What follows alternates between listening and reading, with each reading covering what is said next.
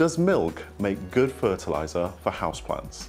This claim is all over the internet, and the idea is that it creates a natural, inexpensive fertilizer without having to resort to synthetics. Milk, after all, contains calcium, which plants need, and when the protein in it breaks down, it can be turned into nitrogen, which is a key plant fertilizer. However, it's all about quantities. Standard fertilizer can contain up to 30 times the nitrogen of milk, and milk is six times the price of fertilizer. So the idea that it's inexpensive or effective doesn't really stack up. And that's before you consider to make this nitrogen in milk available to plants, it first has to rot down.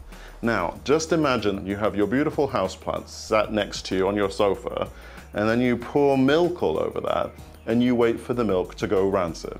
Not exactly an attractive proposition. But the weirdest thing about this all is that houseplant compost doesn't actually contain very much soil, if any. It won't even contain the right bacteria to break this down and make it available for plants. So in theory, milk could be used as a fertilizer. It's just the most expensive, the least effective, and smelliest possible option.